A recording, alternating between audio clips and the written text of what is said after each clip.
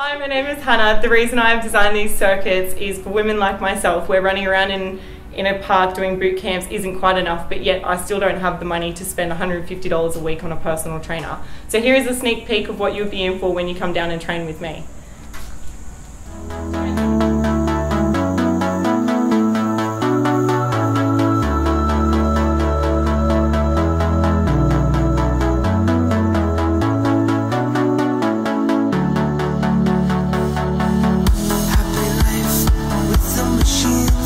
scattered around.